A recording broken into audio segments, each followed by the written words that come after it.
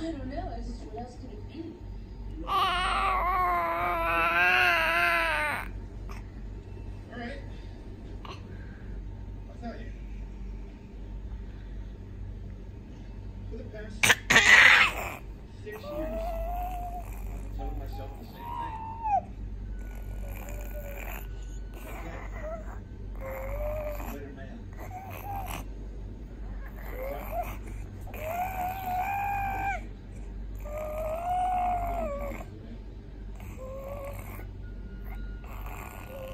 He had hands down the best girl in the world.